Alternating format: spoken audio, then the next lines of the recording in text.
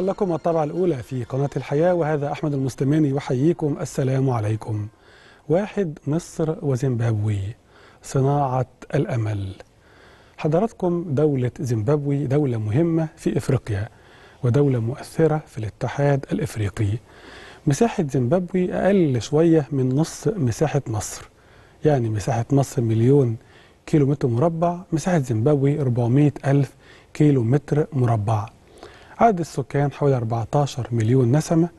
الدخل القومي مش كبير أوي 11 مليار دولار سنويا لكن فيها موارد كتيرة جدا سواء موارد زراعية متعلقة بالذرة وبمحاصيل أخرى عديدة إنما كمان الموارد اللي هي خاصة بالثروة المعدنية كبيرة جدا من النيكل للنحاس للقصدير للبلاتينيوم للذهب يعني موارد معدنية كبيرة جدا في زيمبابوي. زيمبابوي زمان كان اسمها روديسيا. إنها بعد كده استقلت سنة 80 عن الاستعمار البريطاني. وطبعا عارفين كلنا تاريخ اللي حصل من تفرقة عنصرية أيام روديسيا لكن بعد كده استقلت هذه الدولة. العلاقات بين مصر وزيمبابوي علاقات تاريخية منذ الاستقلال إلا أنها شهدت تطورا كبيرا في السنوات الأخيرة. في 2022 أوفد رئيس زيمبابوي مبعوثه الخاص إلى القاهرة. قابل الرئيس السيسي وسلمه رسالة خطية من رئيس زيمبابوي وكان طبعا المضمون الرئيسي لهذه الرسالة الرغبة الحقيقية في تطوير العلاقات بين القاهرة وهراري. بعد كده بسنة جاء إلى مصر رئيس زيمبابوي والتقى الرئيس السيسي في مدينة شرم الشيخ. وتم النقاش في لقاء ثنائي مطول حول العلاقات بين مصر وزيمبابوي. رئيس زيمبابوي أشاد برؤية الرئيس السيسي للقارة الإفريقية ما يخص الأمن والتنمية في إفريقيا. ورغبته في أن هذه القارة تتجاوز التحديات الأمنية والتحديات التنموية وأن يكون في تكامل اقتصادي إفريقي. وفي مصالح إفريقية متكاملة وكذلك التفاهم الإفريقي في مواجهة ما هو خارج القارة. وكمان رؤية الرئيس لموضوع التبادل التجاري الذي لابد من تعزيزه ولتوطين الصناعة واستثمار موارد الدول الإفريقية من أجل رفاهية شعوبها. الرئيس السيسي تحدث في هذا اللقاء عن التعاون الثنائي لازم يكون أكبر مما مضى وأكبر مما هو الآن. المفروض يزيد في المستقبل بشكل كبير وإن تطوير العلاقات مش بس على أساس التبادل التجاري إنما كمان بحث فرص الاستثمار المتبادل بين الدولتين.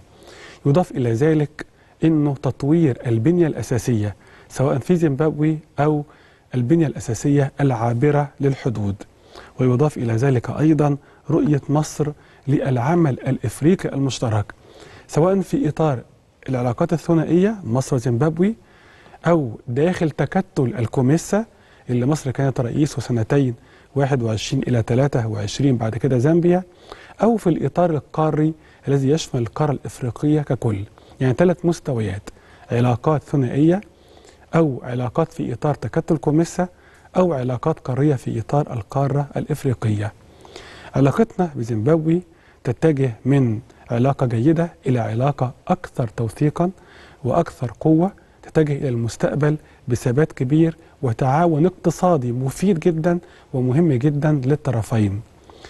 زيمبابوي حضراتكم منذ الاستقلال حكمها الرئيس روبرت موجابي اللي متابعين الشأن الأفريقي أكيد يسمعوا عنه لأن هو قعد فترة طويلة رئيسا لزيمبابوي وبعد كده سنة 2017 غادر السلطة لكن بعد سنتين من العلاج في سنغافورة توفي عن 95 عاما موجابي ليه جزء كبير من تاريخ استقلال وما بعد استقلال زيمبابوي. علاقتنا بزيمبابوي موجودة بقوة من أيام الرئيس موجابي ومنذ استقلال زيمبابوي لكن الطفرة التي شهدتها العلاقات بين مصر وزيمبابوي في السنوات الأخيرة وفي عهد الرئيس السيسي هي طفرة كبيرة للغاية ربما غير مسبوقة منذ مدة طويلة.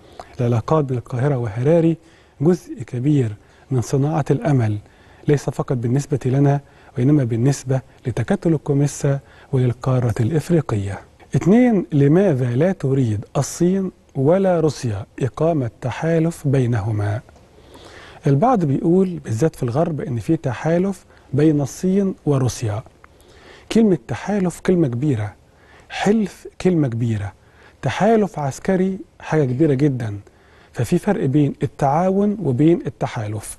مقال مهم في الصحافة الروسية نشره موقع روسيا اليوم الكاتب فيه بيتكلم في هذا الموضوع وبيقول خلاصة هذا المقال ما نشرته روسيا اليوم إنه ما بين روسيا والصين تعاون.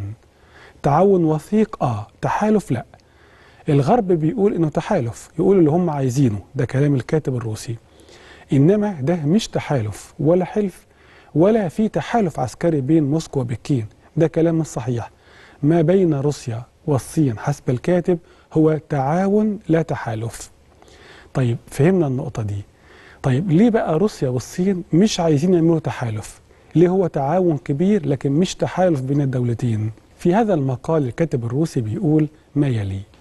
نمرة واحد إن الصين كفكر استراتيجي ضد التكتلات وشايفة إن التكتلات والأحلاف العسكرية من وارسو إلى الناتو وتكتلات عسكرية أخرى إن الكتل دي والتكتلات ذات الطابع العسكري أو السياسي تؤدي إلى عدم الاستقرار وأدت إلى حروب كتيرة في الماضي. نتكلم على التكتلات العسكرية مش الاقتصادية. الأمر الثاني أن روسيا دولة ذات نفوذ. ونفوذ روسيا في العالم كبير وأن الصين لا تفضل أنها تكون في علاقة تحالف استراتيجي مع روسيا لأنها دولة ذات نفوذ أو منافسة للصين. الأمر الثالث أن رؤية روسيا لو في تحالف مع الصين التحالف ده هيكون عبء على روسيا. عبء على روسيا ليه؟ لأن هتضطر روسيا تاخد كل مواقف الصين كحليف عسكري أو استراتيجي تجاه العالم. يعني مثلا الصين عندها مشاكل حدودية عندها مشاكل سياسية مع اليابان مع الهند مع فيتنام.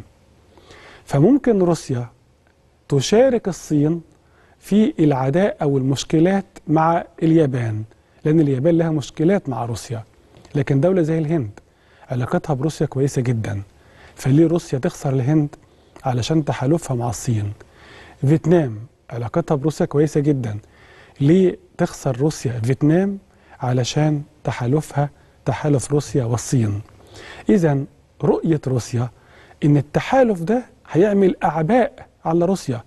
هتضطر تبقى علاقات سيئة بالهند عشان خاطر الصين وبفيتنام عشان خاطر الصين. والمشاكل الحدودية هتقف في كل مشاكل الحدود بين الصين وبين جيرانها هتقف مع الصين ضد كل هؤلاء الجيران. فتعمل عداوات كتيرة جدا. أضف إلى ذلك وده الأمر الرابع والأكثر أهمية إن أمريكا علاقتها بروسيا ممكن تكون في بعض الأوقات أقرب من علاقتها بالصين لأن روسيا وأمريكا عندهم خلاف في ملفات محددة ممكن في أي وقت يسووها إنما الخلاف بين الصين وبين أمريكا خلاف كبير جدا جيوسياسي عملاق ومستمر. فإذا روسيا تحالفت مع الصين ده معناه العلاقة بين روسيا وأمريكا هتبقى أبعد وأسوأ نتيجة هذا التحالف. طب ليه روسيا تعمل كده؟ إذا كان أصلا علاقة روسيا بأمريكا رغم كل ما جرى في أزمة أوكرانيا وحرب أوكرانيا إلا أنه في النهاية ممكن روسيا تتفاهم مع أمريكا. والمسافة بين روسيا وأمريكا مش كبيرة زي المسافة بين الصين وبين أمريكا. خلاصة القول في هذا المقال إن لا روسيا عندها مصلحة تكون في تحالف مع الصين ولا الصين عندها مصلحة تكون في تحالف مع روسيا. وإن روسيا مش عايزة تكتلات عسكرية في العالم بما فيه الناتو أو غير الناتو. والصين كمان مش عايزة تحالفات عسكرية في العالم. والصين عندها طموحات لقيادة العالم فأي تحالف استراتيجي هيحملها أعباء ويعطل طريقها ويبقى ثقل عليها أثناء الحركة. وكذلك بالنسبة لروسيا دولة ذات نفوذ دولة مهمة هتشيل أعباء كتيرة نتيجة التحالف مع الصين. لذلك الصين وروسيا الأفضل لهم الصيغة الحالية التعاون وليس التحالف. التعاون الكبير نعم ولكن التحالف العسكري هيكون عبء على الطرفين. لذلك ما بين الدولتين لن يتجاوز مرحلة التعاون حسب الكاتب في روسيا اليوم.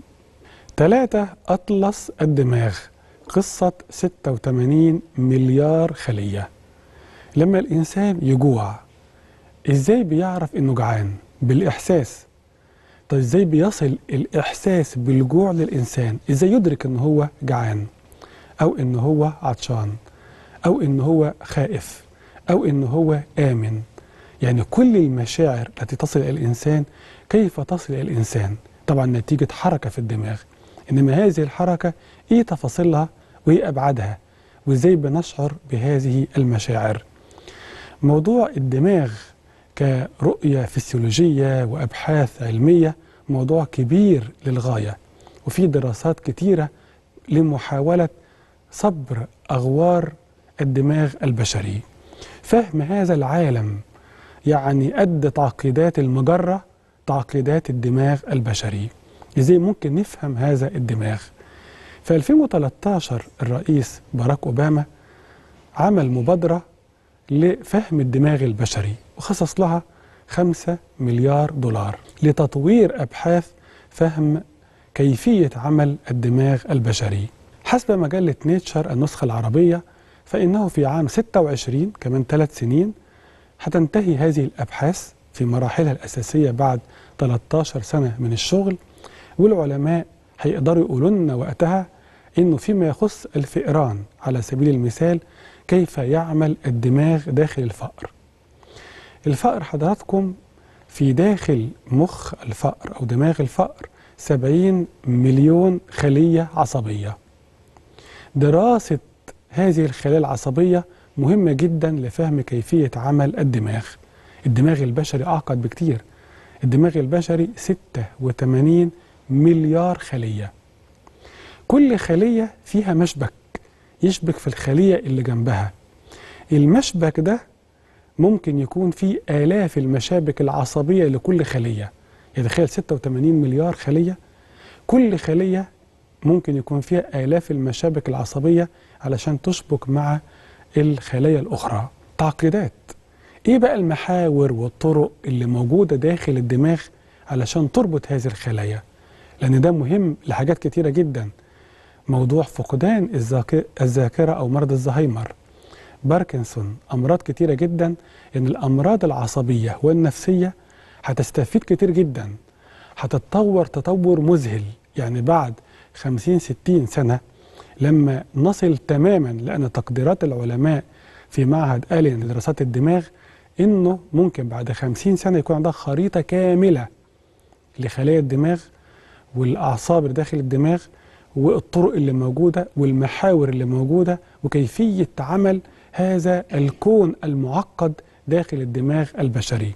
وقتها هيكون أمراض كتيرة جدا تبدو مستعصية الآن هتكون في عداد الممكن في المستقبل. مش بس بعد خمسين سنة إنما دلوقتي أصلا بدأت تتطور كتير جدا دراسات الأمراض العصبية والنفسية على أثر التطور في دراسات الدماغ البشري. مع حضراتكم هنحاول نوضح اللي إحنا قلناه لأهمية هذا الموضوع لأنه أهم حاجة في الحياة الإنسانية كلها وفي الإنسان هو الدماغ. زي ما قلت لحضراتكم إنه الفقر على سبيل المثال دايما الفيران هي فيها النقاشات على طول تبقى التجارب على الفيران. الدماغ بتاع الفقر فيه كام؟ 70 مليون خلية. تخيل يعني الفار الصغير ده الدماغ بقى الصغير جواه فيه 70 مليون خلية. الدراسات اللي هو المشروع بتاع أوباما البرين أو دراسات الدماغ هيكون بعد ثلاث سنين جاهز على شبكة الإنترنت متاح للجميع. كل تفاصيل عمل دماغ الفار في السبعين مليون خلية عصبية اللي موجودة. وده هيخدمنا كتير جدا في فهم الإنسان. الدماغ بقى بتاع الإنسان كام؟ قلنا 86 مليار. هنا مليون هنا مليار. الغريب بقى مثلا لو افترض بقى 86 مليار دول آدي خلية وآدي اثنين وآدي ثلاثة وآدي أربعة وآدي خمسة ستة سبعة ثمانية تسعة مثلا. طبعا بتكلم بقى كام؟ 86 مليار. عد بقى 1000 2000 10000 مليون وأنت ماشي بقى توصل ل 86 مليار. كل خلية فيها مشابك. عشان تشبك مع الخلايا الأخرى. فدي تشبك هنا وتشبك هنا وتشبك هنا يعني كل خلية ممكن يكون فيها آلاف المشابك. شوف شيء مذهل سبحان الله آلاف المشابك العصبية. شيء خيالي. يعني 86 مليار خلية كل خلية فيها آلاف المشابك العصبية ده عمل الدماغ أو خريطة الدماغ الفسيولوجية. الخريطة دي لما تنتهي هيكون عندنا معلومات غير مسبوقة عن عمل الدماغ داخل الفأر بشكل أساسي لكن كمان داخل الإنسان. وطبقا لمعهد ألين في جامعة سياتل نتكلم على في غضون عشرات السنين القليلة ممكن خمسين سنة ولا حاجة ممكن يكون عندنا خريطة كاملة للدماغ البشري. من الآن فصاعدا في نهضة حقيقية كبيرة جدا وغير مسبوقة في علاج الأمراض العصبية والنفسية وفهم عمل المخ وخريطة الدماغ على ضوء مقال مجلة نيتشر النسخة العربية. أبحاث مذهلة قصة 86 مليار خلية داخل الدماغ البشري. وفاصل ونكمل.